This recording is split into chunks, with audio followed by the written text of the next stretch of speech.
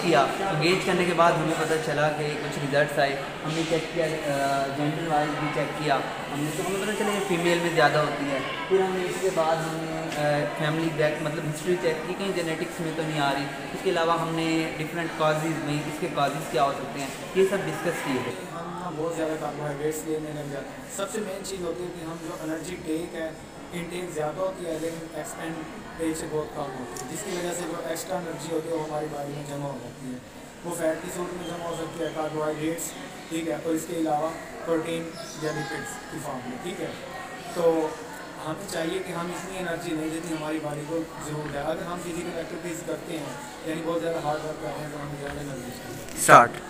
और जैसे कि हम हमने रिसर्च में ये देखा था कि बहुत सारे लोग जो होते हैं ना वो एक से दो घंटे कुछ लोग देते हैं, टीवी के बाद टाइम होता है उनका कुछ होते हैं जो दो से तीन आवर्स और कुछ होते हैं तीन से चार आवर्स ठीक है, जितना वो ज़्यादा जिन फ़िज़िकल एक्टिविटी से दूर जाएँगे, उतने ज़्यादा बेस्ट की तरफ़ जा रहे होंगे।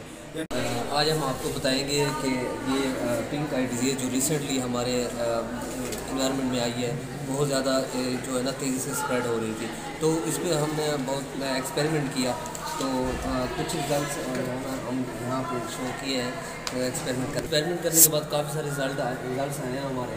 अगर हम इस पिंक आई डिज़ीज़ को जेंडर वाइज देखें तो ये फीमेल के अंदर पचपन परसेंट आई है और मतलब जो भी हमने सर्वे किया है तो मेल में पैंतालीस परसेंट ये शो हो रही है।